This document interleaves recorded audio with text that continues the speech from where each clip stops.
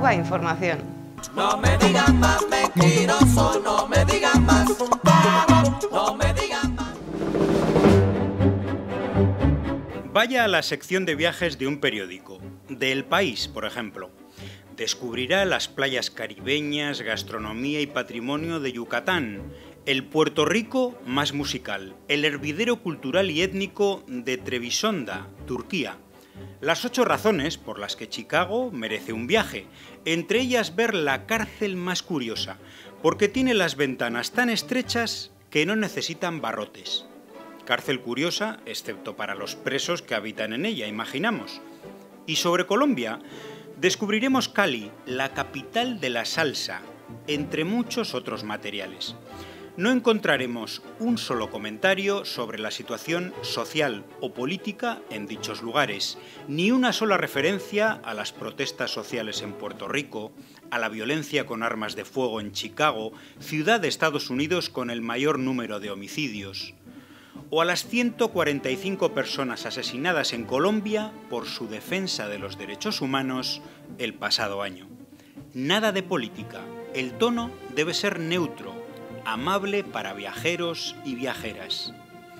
Ahora entren en esa misma sección y medio a un reportaje de viajes a Cuba y verán cómo cambia el cuento. La periodista Marusa Ruiz del Árbol narraba en el país su última visita a la isla con un título sugerente. Regreso a una Habana siempre indescifrable. Tan indescifrable que dedicaba casi un tercio de un reportaje sobre turismo a la situación política y social y a las protestas civiles contra el gobierno cubano de julio de 2021.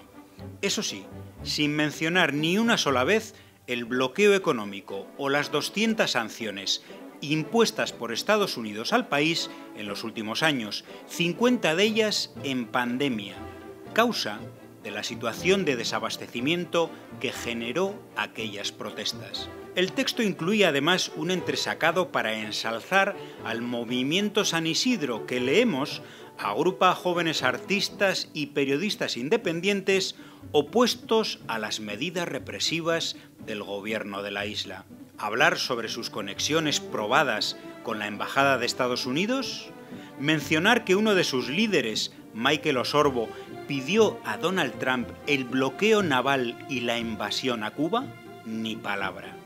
Pero sí nos asegura que en Cuba hay persecución ideológica y una fortísima cultura del chivatismo, que ha hecho que los cubanos sean reacios a hablar en confianza fuera de sus círculos estrechos.